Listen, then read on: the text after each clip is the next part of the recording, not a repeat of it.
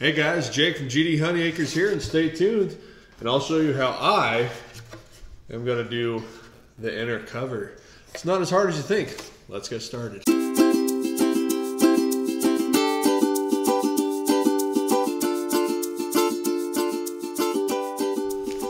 All right, now I went ahead and wrote down all my measurements. We're gonna actually use two by fours for this. Um, we're gonna have one two by four at 20 inches and one two by four at 16 and a quarter inches. Now, I thought ahead and went ahead and converted stuff to metric. So you're gonna have, well, I didn't do the two by fours, but everyone should know what two by four is. Two inch by four inch boards, actually one and a half inch by three and a half. But we're gonna have one of those at 50.8 centimeters and another one at 41.275 centimeters. All right, let's go ahead and cut those. Safety glasses first, always.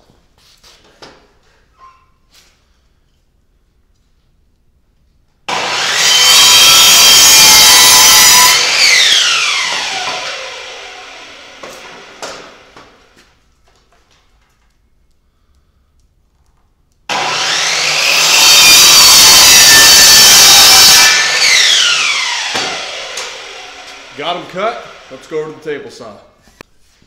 All right, now our first cut, it's gonna be basically from the inside of the fence to the outside of the blade. Kind of hard to see the blade. Here, I do this? See that piece of wood? There's a blade. The space between the inside of the fence and the outside of the blade, I have it set to a quarter inch because I'm using quarter inch oak sheeting to do this. All right, let's get started.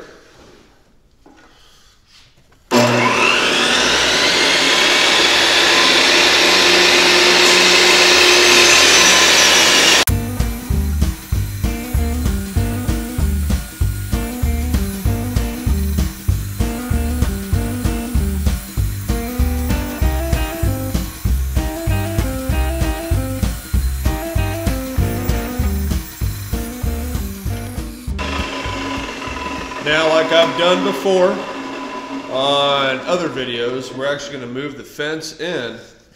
Is what I did is effective I cut right here. Now we're going to move the fence in to the point where we get rid of this. And it's always important to do both at the same time. That way the depth is the same. You don't got to worry about variation. All right. This one you just kind of eyeball it. Get it real close to that blade.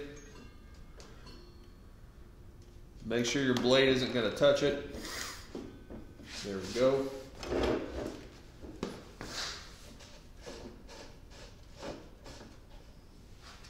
All right, let's go ahead and do this.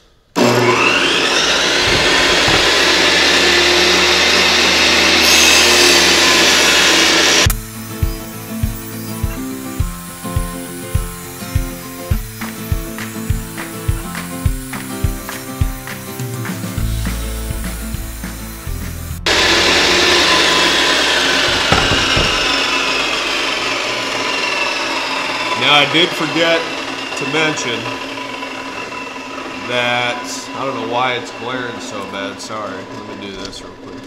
I did forget to mention that my saw blade is up three quarters of an inch or 1.905 centimeters. Now, one thing you'll notice is I still have this feathery stuff. That's pretty easy just to break off, no problems. Go ahead and knock that off. And then if you have a little bit more, you can take your knife and clean it up. Yeah, it comes off real easy.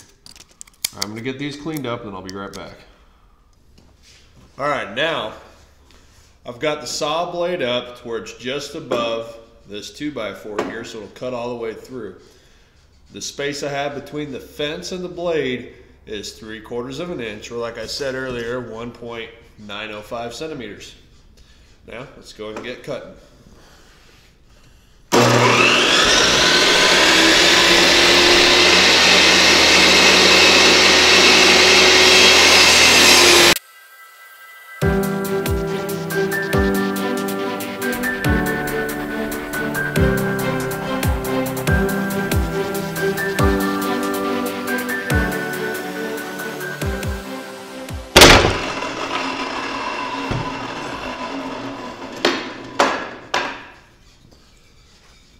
This is what you're gonna get. Oops, sawdust on the lens. This is what you're gonna get. Now, what we're gonna do is kind of make a picture frame with them. We cut an angle like this, 45, and then 45, and do that to all of them. All right, I got my miter saw set up to 45 degrees for the one angle. After I get them four cuts made, I'll basically just switch it back this way and do the other angle. Not too hard. Let's get started. Basically here, I'm going to put the blade, kind of hard to see, me getting that light, block that light there. Okay, I'm gonna put the blade right on this corner and cut 45 this way. Let's get started.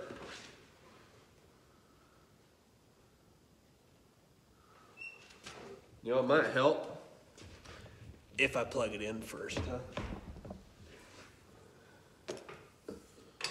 Just a little bit. All right, now let's get started. All right, guys, I'm sorry. I don't know what happened, why the video just stopped. I don't, I'm not sure. But we got all our angles cut, kind of like a picture frame you would do, you know. So it's gonna go together nice, like at a 90. Basically, cut them all the one way, then you flip it back to 45 degrees the other way and make them final cuts. All right, let's go back over to my table and we'll start assembling this. All right, we've got our pieces laid out here basically the same shape as a picture frame.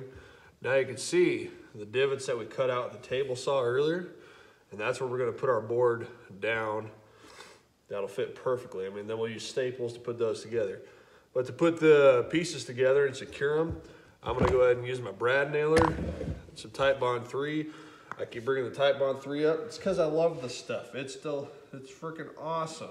All right, we're gonna go ahead and put this one now, like I keep saying, make sure you always have your fingers a safe distance from the nail.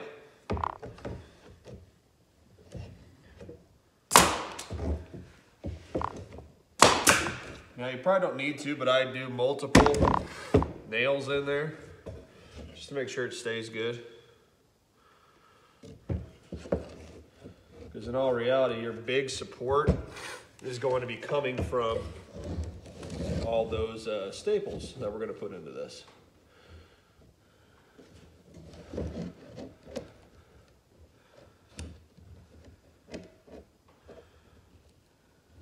Right there.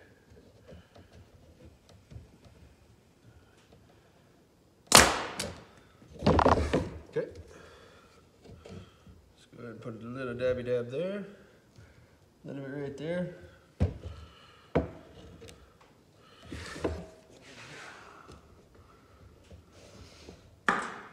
Now it helps if you could have like a jig already made up for this, but I don't. I really don't care because this is pretty simple to do. Now if I was gonna make, I don't know, a whole bunch of these, I would probably go ahead and make the jig. Just because. Be a heck of a lot easier in the long run. Let's go ahead and put a couple more nails in it.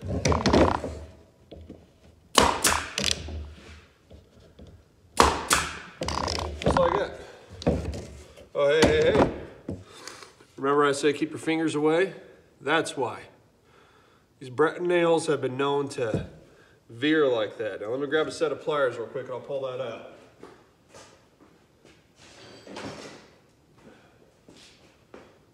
I actually, one time, had a brad nail go through one board.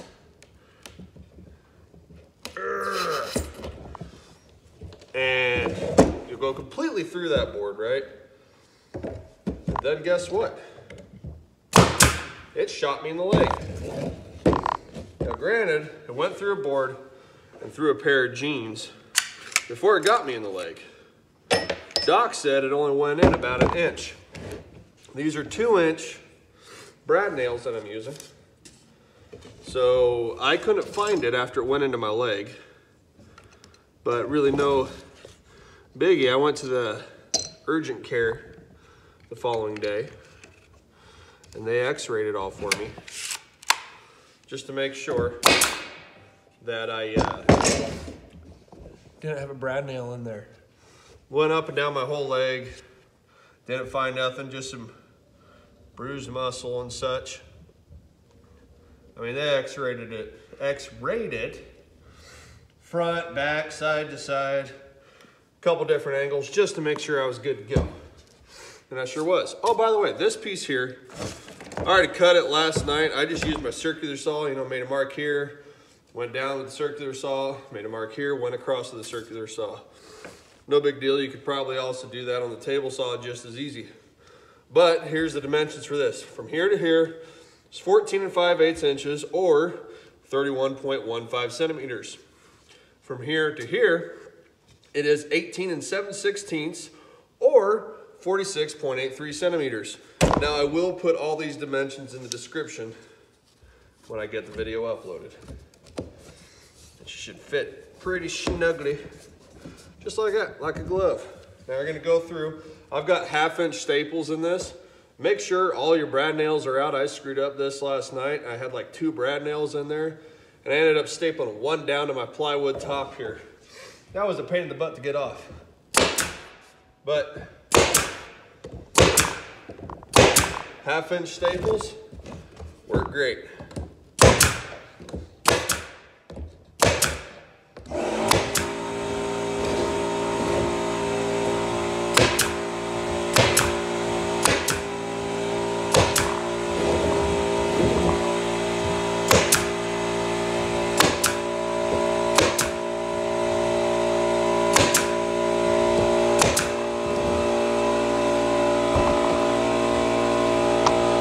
Stopped recording while that compressor was running.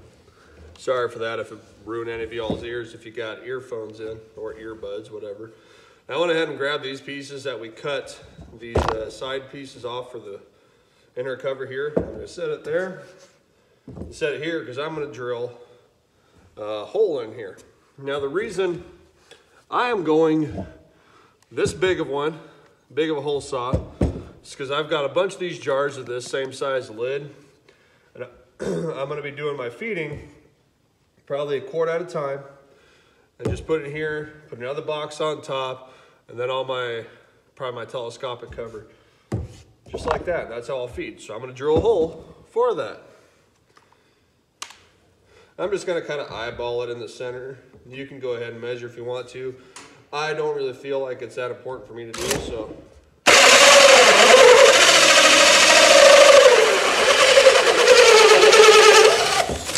just like that. Then it'll sit like that with another box on here and telescopic cover.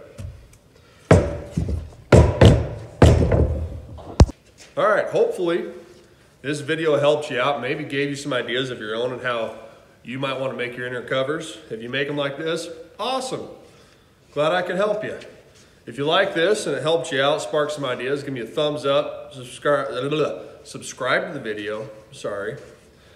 And uh, when I go and make my telescopic covers, I'll make a video of that too. But yeah, here's that inner cover. And I just use regular old 2x4 for these pieces. And then oak sheeting for this. Fairly simple to make, but uh, yeah. Um, some people actually will make these pieces using a router table. I don't have one yet. That's why I use the table saw, and that's why I saw it done that way in the video. All right, guys, give me a thumbs up, subscribe. I'll catch y'all later, and uh, God bless.